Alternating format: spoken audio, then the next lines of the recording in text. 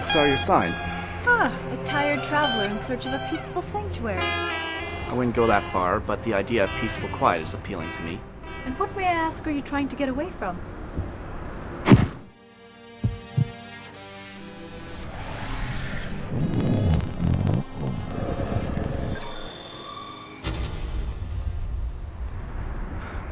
The past. I don't think you've traveled far enough to lose your past. See you still have it in your eyes. So, can I have the room? It was yours the moment you said hello. I'm Alice Diablo, but most people call me Mama Alice. I'm Gareth Freeman. Well, Mr. Freeman, let me take that for you. Do you have any more luggage? I never travel more than I can carry. Then let's be off so I can show you your new accommodations. And I shall try to provide you with what you desire.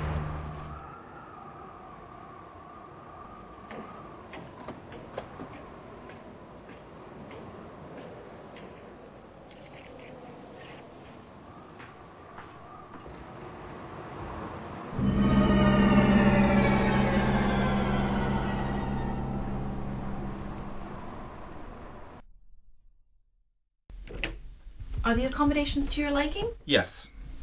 Already unpacked. My stars, Mr. Freeman, you pack unusually light for a man of your age. I travel a lot. May I ask what kind of work you do? Why not? I'm a database consultant. Basically, I fix the screw ups that the white collar's too ignorant to have avoided. That sounds exciting, I suppose I've been to a lot of places. but it must be lonely.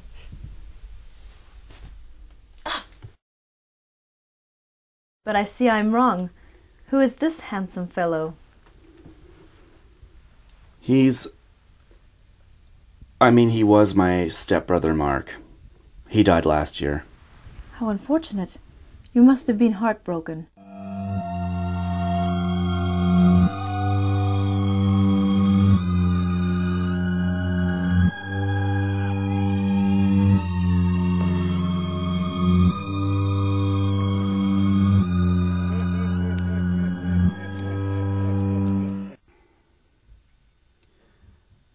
I had my work to keep my mind off all that.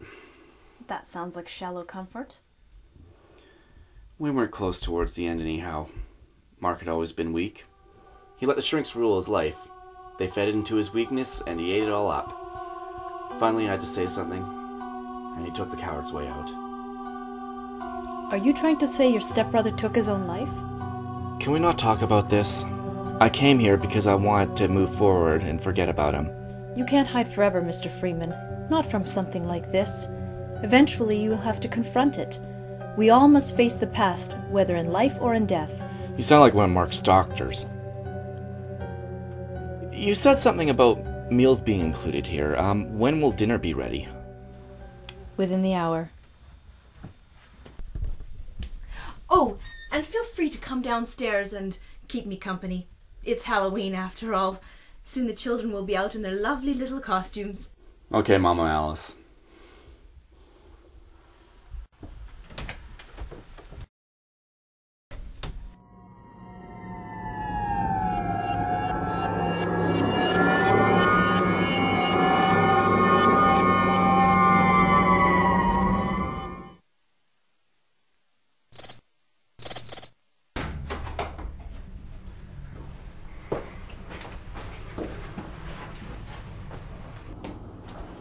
It's not your turn yet. Here are the young ones now. Aren't you all just so adorable? Oh, aren't you just so precious? I could just eat you all up. Just love the little ones. I can tell. All the little ones know that their Mama Alice will always have something sweet for them. Dinner will be ready momentarily.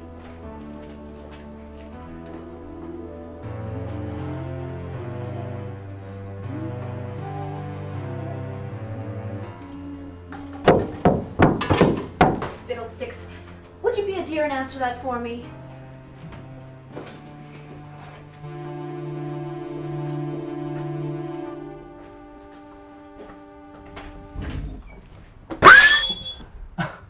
Aren't you a bit old for trick or treating? Beware, the time of judgment is at hand. Mr. Freeman, what happened? Are you all right? He, he grabbed me, and the smell, he, he smelled like rotting fish, like, like, like rotting something. Things like this never used to happen in our quiet neighborhood. Goodness, how times change. Maybe a little hot food will do the trick. I'm sorry, Mama Alice, I can't keep anything down. I can't get over the smell of that man, and I'd just like to go to my room and forget this ever happened. I'll bring you a cup of tea in a little while. It'll relax your nerves. Alright, thanks.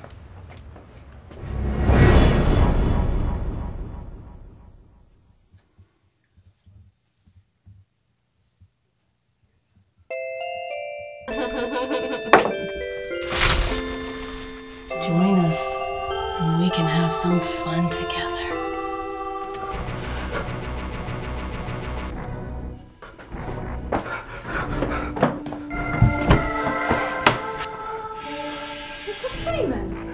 In there! She, she, she's, she's in there!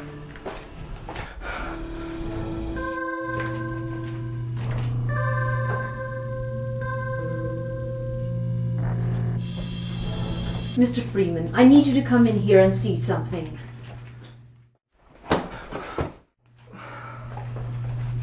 If we are going to share this place, you will have to clean up after yourself. Behind there! She was behind there! She was there! Damn it, I'm not crazy! She was there!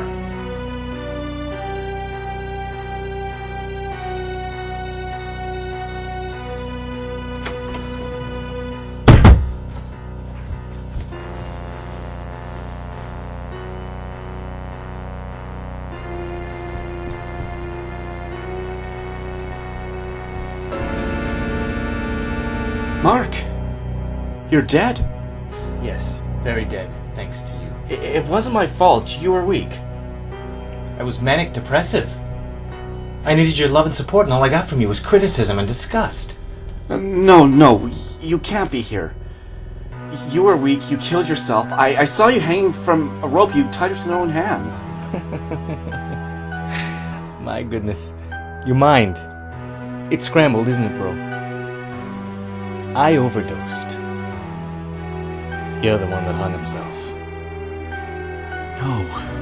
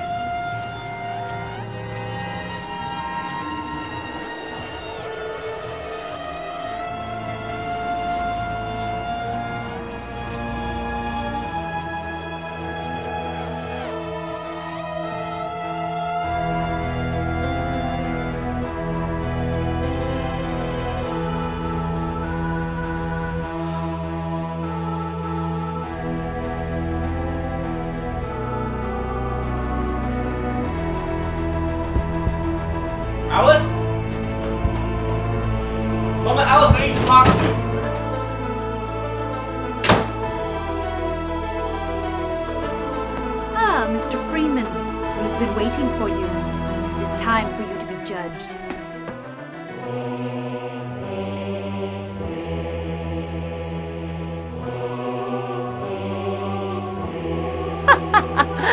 you can't run away this time, boy. Your peers are assembled and ready. But I'm being an insensitive host. It is your right to know those who would judge you. Judge me? Yes. we must all be judged for our sins. Only if one is repentant may they move on. You should understand this concept by now, eh, Vinny? Was it worth losing your life over a street race? And what about the pregnant lady you hit? What about her unborn child? You had your whole life ahead of you, but you threw it all away because you couldn't choose between your fiance and some construction worker you boinked a couple times. so you see your judges and peers. But I'm forgetting myself. We have one more judge. But you already know his story. Of the three of them, he is the only one who shows any hope of redemption. Damn it, Mark. You know I cared about you. I I just couldn't handle your weakness. My weakness. My weakness. I had a mental disability. What was your excuse? You, you killed yourself over a job. A fucking job. You didn't learn a single thing from my death. Where were you when I was buried? I was out of the country. We have heard your words, Mr. Freeman. It is now time for you to be judged. Members of the damned, you've watched this person standing here before me awaiting judgment. Has he shown any remorse for his sins? Or is he unredeemable at this time? What is your judgment? I tried to warn you.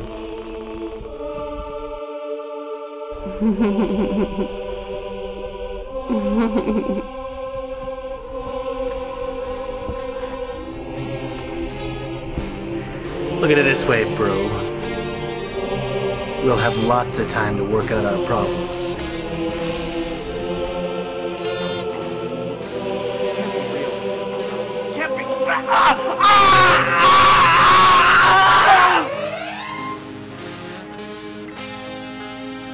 It's not that easy, boy. Welcome home to your very own corner of hell. No!